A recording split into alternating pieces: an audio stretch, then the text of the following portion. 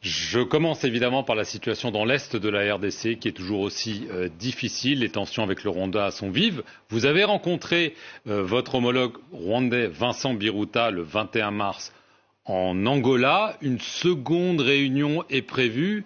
Est-ce que vous êtes optimiste sur une résolution de cette crise?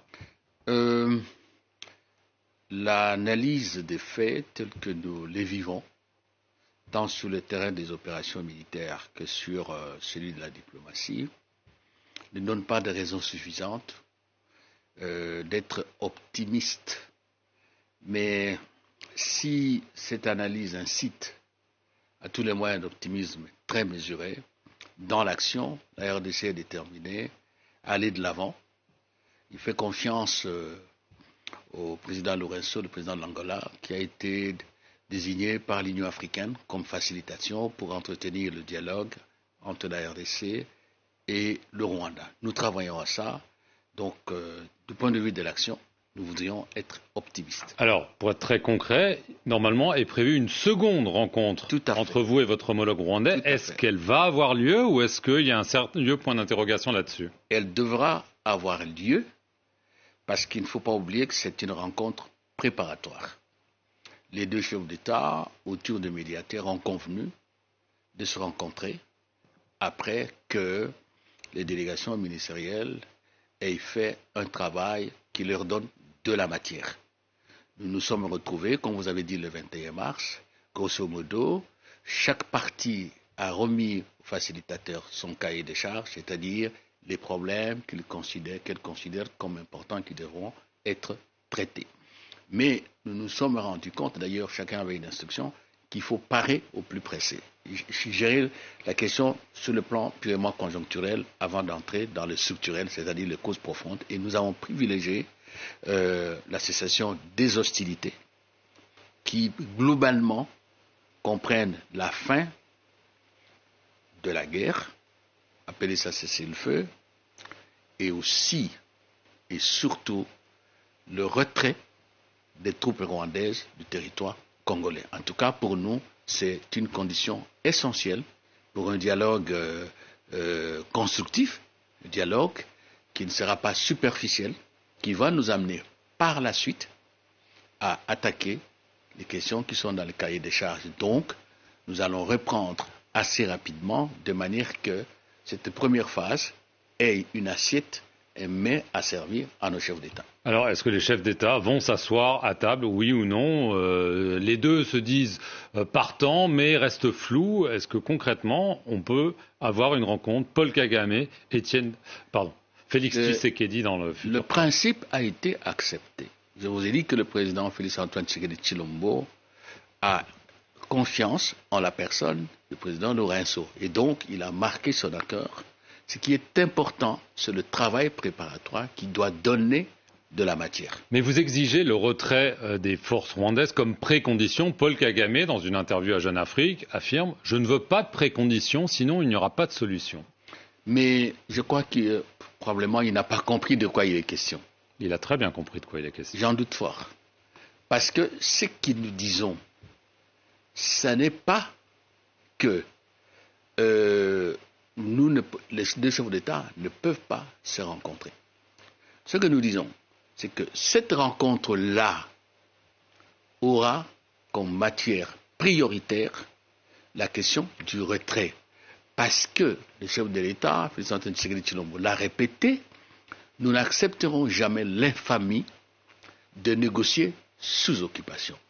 Nous n'accepterons jamais d'être indignes du jour, indignes de notre pays. Aujourd'hui, il ne fait aucun doute que le Rwanda a la plus grande responsabilité dans la crise sécuritaire. Il ne fait aucun doute que les troupes rwandaises sont au Congo. Donc, si on veut créer les conditions, et c'est ça les conditions, nécessaires à un dialogue constructif qui va mettre fin à la crise, il faut que le Rwanda se retire de la RDC. Mais il n'y a toujours pas de sanctions euh, contre le Rwanda. Euh, ça vous embête ou ça vous est indifférent? Ça doit embêter tout le monde, tous ceux qui ont le destin du monde entre leurs mains, en particulier les membres permanents du Conseil de sécurité des Nations Unies, le Conseil de sécurité, l'Union africaine. Pour quelles raisons Le Conseil de sécurité des Nations Unies a toujours mis un point d'honneur pour mettre fin à l'impunité. Quand vous ne sanctionnez pas, et puis encore vous ne condamnez pas, ça signifie quoi? Allez, parlons simplement, vous approuvez, vous encouragez, et euh, euh, euh, vous, quelque part, quelque part, vous condamnez les victimes. Là, c'est complètement insensé. C'est contraire même au, droit international, à toutes les conventions concernant les relations entre États. Et donc, c'est bien que certains pays, encore une fois, on doit dire la vérité, la France, les États-Unis, non seulement ils ont dénoncé, mais ils ont commencé avec des sanctions. Il y a un frémissement. Mais il faut sanctionner pour prévenir. Il faut sanctionner.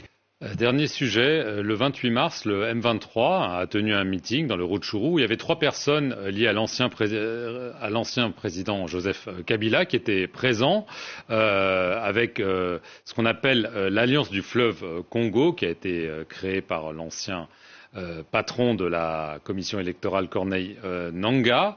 Euh, ça a été euh, condamné euh, par le parti du président Tshisekedi qui accuse le président Kabila d'être responsable de ce qui se passe à l'Est. Est-ce que vous souscrivez à ces accusations que, en gros, je schématise, le président Kabila fait partie de l'entreprise de déstabilisation du pays? Bon, je crois qu'il faut dire un mot au départ. En fait, Alliance Fleuve Congo, c'est quoi?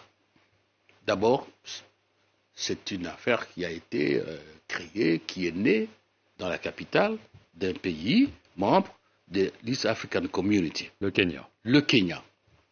Problème. Deux, ça fait partie d'une stratégie du président Kagame et de certains chefs d'État de la région pour démontrer qu'il n'y a pas que l'M23 qui, qui, est constitué de supplétifs du Rwanda, mais c'est un problème interne à la RDC. Encore qu'il faille se poser des questions, alors pourquoi ils s'en mêlent Et nous savons aujourd'hui qu'il y a des, jeunes gens qui sont recrutés, qui sont entraînés par nos pays voisins. Le Rwanda est dedans. Nous savons Quel autre pays? Ça viendra. Le Kenya? Ça viendra. De toutes les façons, nous avons écrit à l'EAC que le comportement des autorités kenyanes n'est pas un comportement normal. Vous ne pouvez pas accepter qu'un groupe rebelle, qu'un groupe armé soit né dans votre capitale contre un autre État membre de la communauté et nous dire oui, nous sommes un pays démocratique et ainsi de suite. Mais revenons à l'essentiel.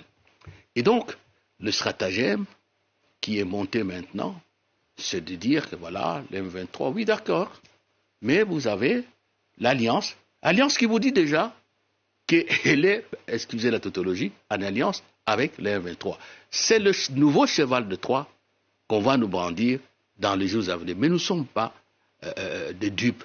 Nous connaissons tout. Il y a des formations qui se passent maintenant. Il y a des armes qui sont achetées et euh, nous nous préparons en conséquence. Maintenant, la question que vous avez posée, il est tout de même curieux de voir que le, partisan de l'ancien chef d'État, les membres de son parti adhèrent à un mouvement rebelle et ne se le cachent pas, ils le disent.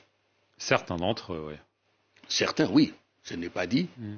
Tous, certains d'entre eux, ils adhèrent à ce mouvement. Et puis, euh, les services travaillent. Les services de sécurité ne sont pas pour rien. Mais il y a des informations que nous avons, que nous sommes en train de vérifier. Je ne fais pas des affirmations à une télévision sur le spectacle que la vôtre. Non.